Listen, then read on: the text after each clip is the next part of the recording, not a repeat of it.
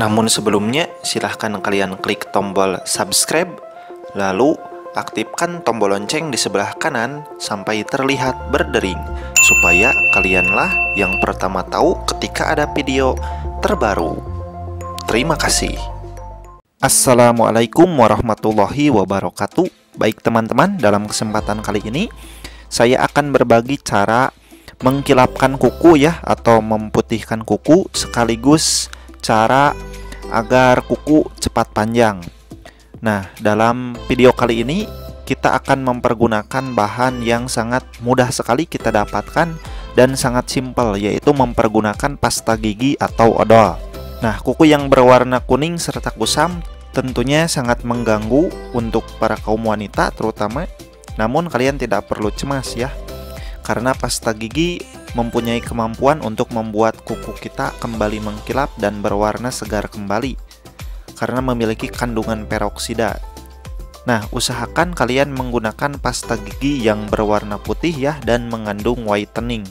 Caranya mudah sekali, Kalian tinggal oleskan tipis pasta gigi pada kuku kalian, lalu biarkan selama 10-15 menit ya. Dan nanti untuk membersihkannya, kalian gunakan sikat gigi yang sudah tidak terpakai untuk membersihkan kuku kalian. Dan nanti saat membersihkannya, bersihkan secara lembut dan perlahan ya, jangan buru-buru.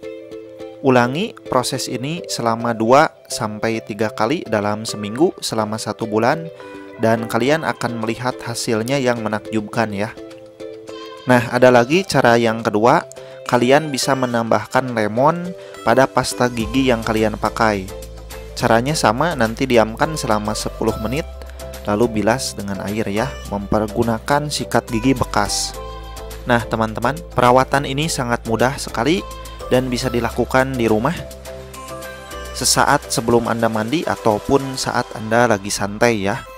Dengan cara seperti ini, kuku kalian yang tadinya berwarna kuning dan kusam akan kembali berwarna putih, mengkilap, dan enak dipandang. Semoga informasi di video ini bisa membantu kalian semua dan bisa menambah wawasan kita semua.